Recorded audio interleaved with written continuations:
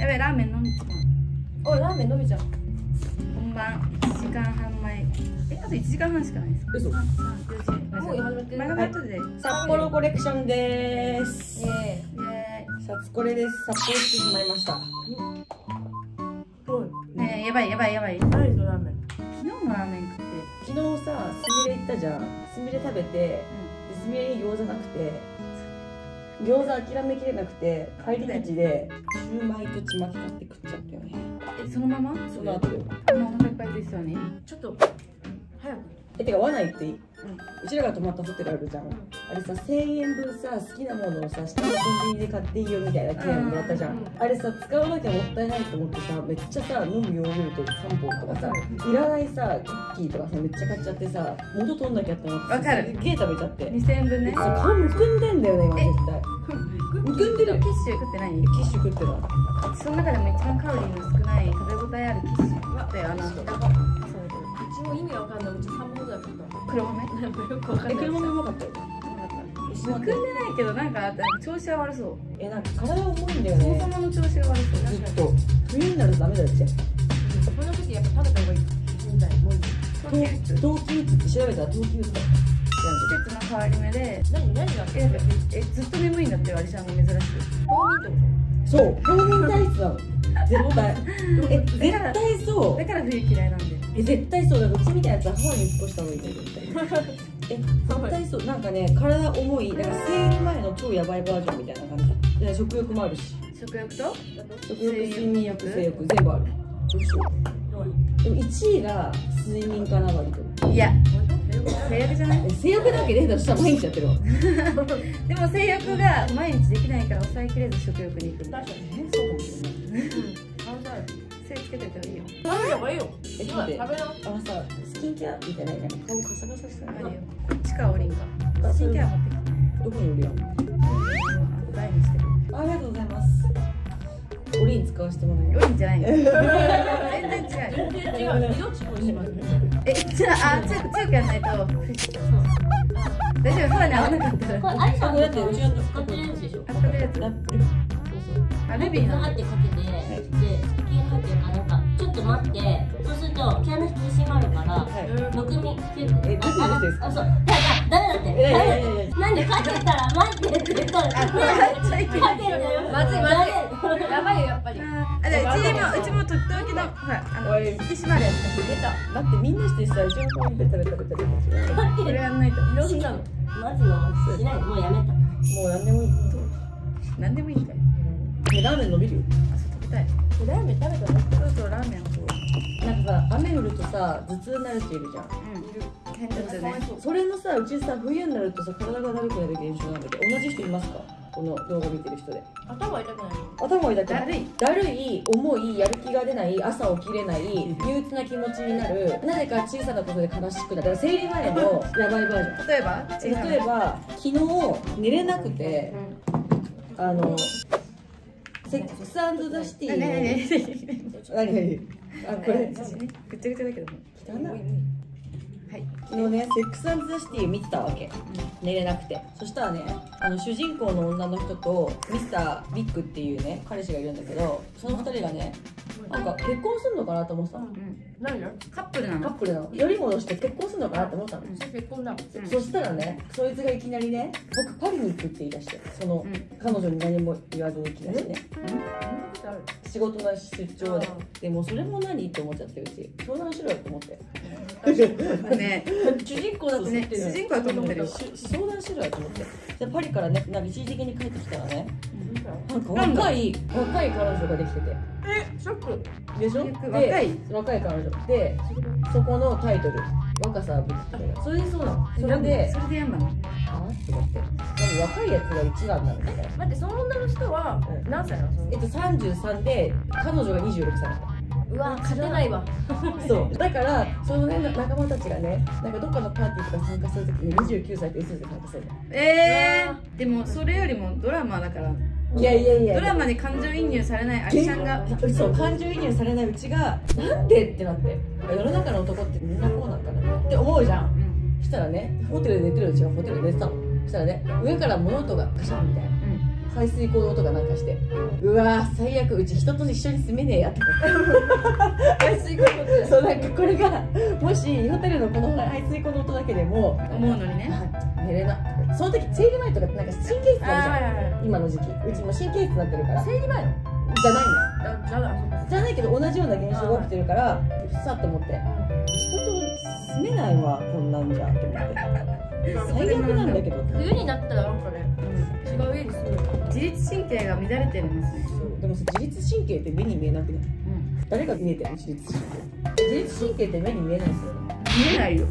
えじゃあさ誰が w i f i みたいな心の乱れみたいな。えでもなんかさ生体の人とか分かるよあ自律神経。それはそそれはさすがにえ嘘だわさすがに嘘でしょ。え？えじゃあ汗が変に出るとかねえ自律神経。汗変に。で見えないです自律神経症状でさえそんなさ自律神経乱れてますねって言われたらそう感じるだけでさ。でもそんなこと言ってうつ病だって心の病だからそれと一緒だよ。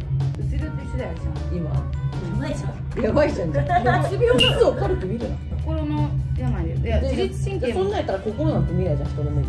そんなこと言ったらそうだわ。じゃあ脳は見えるけど心って見えないじゃん人の目にそれはそうだだって心の病気って心ってものがないんだからそんなこと言った病ら好きって何って話になっちゃうから。それと一緒だよ。深くない？結構。深いな今日。見えないもの好きだよね。そう見えないもの好き見えないもの何っていうの好きだよね。うん、だって目に見えないから別に目に見えるものしか信じない。あじゃあ愛とか信じないんだ愛は見えないよ。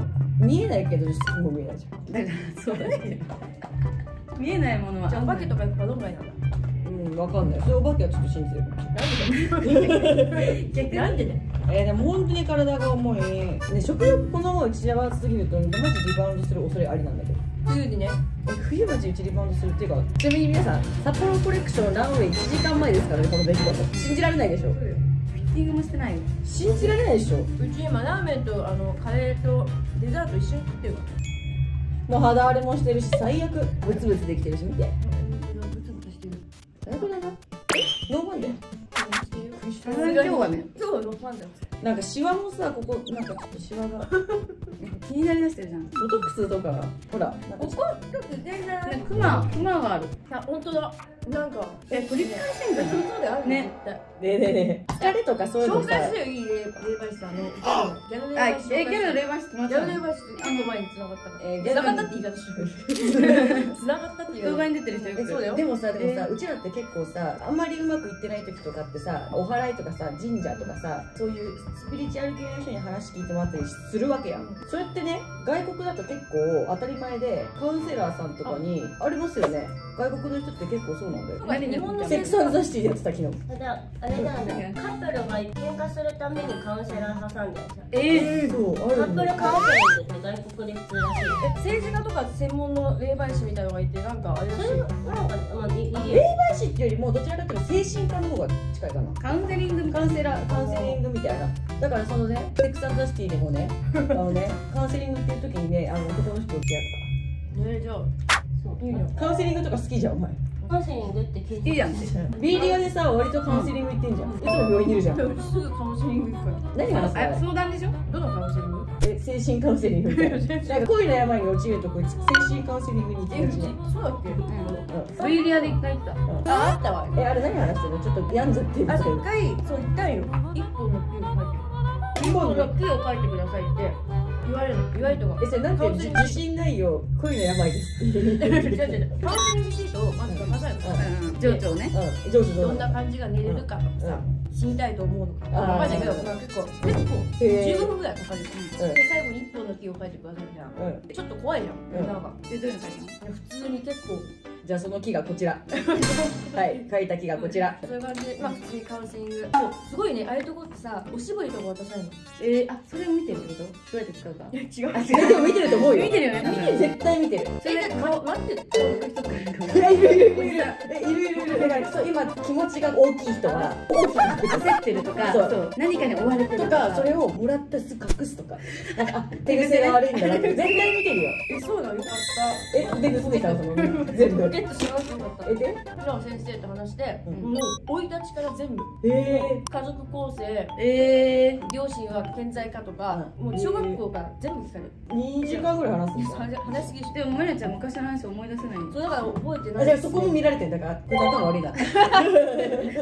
あそっうん。ち、頭悪いな、うん。そっち？結構すごいよそういうとこ。あれちゃん一回行ってみよう。えうち超昔一回行ったよ。あ嘘いやあの病んでる時付き合ってる時にう、ち変すぎて「お前大丈夫?」って言われてうん好きすぎておかしいって言われて。あーあったね。なんかあの帰ってくる前寝れない病そうそうそう。で好きすぎてお前おかしいから病院行った方がいいって言われて精神科行ったの。そしたらすごこれ本当に診断されたんですけど不安型っていう恋愛の傾向なんですよ。ん。なんか恋愛で不安型安定型回避型って3つに分かれてるんですよ、うん。不安型は付き合う前も不安だし付き合っても不安だしずっと不安、この人がどっかに行ってしまうかもしれないっていう不安にずっと襲われる人が不安型なんですよ。で回避型はこの人と一緒に未来を作るとこの人が離れてったら悲しいからもう好きっていうのを隠すというか離れるみたいなそっち側だね。どちらかというとそっち側。安定型はもう普通に自分の人生普通に生きてる普通のうん。人不安型回避型安定型普通安定安定。安定でなんか幼少期の育ち方とか、えー。お母さんからのこの愛され方で結構決まるらしくて不安型は夜お母さんがいないとかそのうん一緒に過ごした記憶があんまりないとか家族で。とかなんかいろいろあるっぽい。です、まあ、昔過去の恋愛しそう過去の恋愛が急にそれになる可能性もあったり。トラウマでもなんか幼少期結構大きいらしい。幼少期結構私もなんか大きい。です聞いた私なんか愛与えられまくりすぎたから多分安定型なの。あでもそれありますよ。でもうちめうちも自由に育てられたから逆に。あでもサオリンはね安定型だと思うよ、まあ安定だね。うん、全然回避型じゃないと思うよ。回避型って本当に好きとか言わない。ああそもそもね。そう。あ俺好きじゃないしとか逆張り行くみたいな。ああ強がりじゃ強がりなんだ。えうち超不安型なんだよね。不安型だけど結構親から愛されるういやでも途中の恋愛で変わってると思うマリアちゃんの場合はあいつか。うん。あいつ あいつだ。あいつあいつだあいつとあいつじゃね？あいつだあいつだあいつだあいつだあいつとあいつとあいつとあいつとあいつ全員やほぼ全員うん、え皆さん調べてください愛着障害って調べて出てきますよ自分ってなんでこんなおかしいんだろうと思ってたの意味わかんないだって寝るときにね体の一部のどっかを触ってないと不安になるみたいなだって指一本でも誰かのあその好きな人とかの好きな人が隣にいたらえだからうち寝る時も今昔同棲してたからさベッドで2人でこうやって寝てたじゃんうんだからうち今右側でしか寝れない、えその人がずっと左側にいたから、うん左側だけ開けて寝るの。怖い。でもさちょっと怖いちょっとちょっと怖い。ちょっと怖い。ってねじゃないから言っちゃってんのちょっと怖い。私はだってさそこの開けてることによって私はそこにもう実体の幽霊とかがそこで寝ちゃうんじゃないかっていうその霊恐怖。開いてたら寝ちゃうかもしれない。あー寝ないでしょ幽霊あいつと入ってくるねそっち系怖いから。じゃなくて自分で変なことに気づいて病院に行けることがもう大丈夫なんだと思う。え違う私言われたんですよねその当時付き合ってた彼に変だよって。えでも言われてさ確かに変って思うでしょ？え変って思わなかったです結構無理やりつ無理やりっていうか。あ一回気づいたの？行って？それは言ってない気づいた。じゃあ行って言われて確かにってなって気づいたんですよ。あえー、じゃあ行った方がいいんだその人ね 気づかなかったよそういう無有病じゃん言ってんの気づかないそういうことじゃない違うううちは最初ね。多分前も動画で言ったかと思うんだけどそういういちいち一個一個に病気つけてたら多分切れないのよ。そうそう。そう。そうじゃないですか。だから今のこの話もなんか病気っていうよりも個性に近いって思ってもらった方がいいんだけど、それなんか病名つけられるのがすごい嫌でそんなの言われたらじゃあ全部病気やんって感じだったから病院行きたくないって。でも自分を知るってことは大事じゃないって。楽にならない。試しにね。そう。試しに行くそう。それを病気って取るか個性って取るかはまた別だけどうちは病気とは思ってない。個性。個性。個性だけどそれに名前がついてるって感じ。うん。あそう。だから恋愛の仕方に名前がついてるだけ。不安型っていう恋愛の仕方の名前がついてるから。え不安型って病気診断なのそれ病気って愛着障害っていう中の不安型だから大げさに名前つけてるじゃあもっとハッピーな名前つければよくない確かに。えーっと寂しがり屋ちゃんの 寂しがり屋ちゃんの子猫ちゃん。うんあーいいね。寂しがり屋ちゃんの甘えん坊さん。あい。いねそう。それで会会議型は素直になれないお茶目ちゃん うんダメなの強がりあつやつやぐらいお茶目ちゃん安定型は大変よくできましあじゃあよくできましたた、うん、愛着障害とか。がよくないえ障害障害ってつけるんだとねだからない恋愛の仕方いや日本だけなんじゃないのでもそれ恋愛の仕方えでもなんか外国の放送じゃない外国の方が種類多そうじゃないですか ADHD とかさあれってさ英語でしょ全部うん選択から外国のだってこの愛着障害って英語でアダルトチルドレンって言うんですよ。えー、そう。子供のまま大人になった。ピーターパン病みたいな。えー、ガーダルトチルだねじゃあアダルトチルドレン。可愛くねアダルトチルドレン。ちょっと可愛い。チルいでしょチルくはないよ。全アダル然トチルドレン。チルチルくないよ。日本のさ処方箋じゃない方の医学の方あるじゃん。東洋医学とか西洋医学とか。あの中国の方のやつそうそうそう。それの先生知り合いにいるんだけどその病名は全部個性だと思った方がいい。ですよね。個性ですよね。そうなんだ。恋愛の仕方一覧って感じ。病気じゃないよ。個性でとかもパリさん今すごいのかなとか言いながら自分の中で私は病気なんだとか思ったりしてうわ。ジャムとか言ってえそういうそれで落ち着くんじゃない？病気って思えば落ち着く。ああれだじゃなくてこれなんでうちが自分が不安型だから納得っていうか言ってよかったなって思ったのはめっちゃ言われるの男に。なんでそんなくっつきたがるのとかなんでなんでって。普通の人ってこんなくっつきたがらないけどなんでって。うちはなんでか分かんなかったからえー、分かんない。なんでだろうね。メンヘラなんかなとか言って言ってたんだけどうちがはっきりうちの恋愛の仕方って不安型っていうやつがあってね説明してうん。Google でこうやって検索してこうやってパッて見せるとあ本当だみたいな。であっちもあそうなんだみたいな。小さい時そういうことがあってそうだったんだねって言って受け入れるというか。かあっちもなんかその子の取り扱いをさそうそうそう。分かってもらえるからさ。だから男側もなんでなんでってならないっていうかあそうなんだ。しょうがないねそうしょうがないね仕方ないね。なんかただたださベタベタくっついてるバカ女だって思われて終わるよりさうん。あそうなんだねってそれはあるかもそれをねなんかねえキモお前そんなんで？そんなやってんの？とかいう男は今すぐ捨ててください。それはちょっとよくないはい。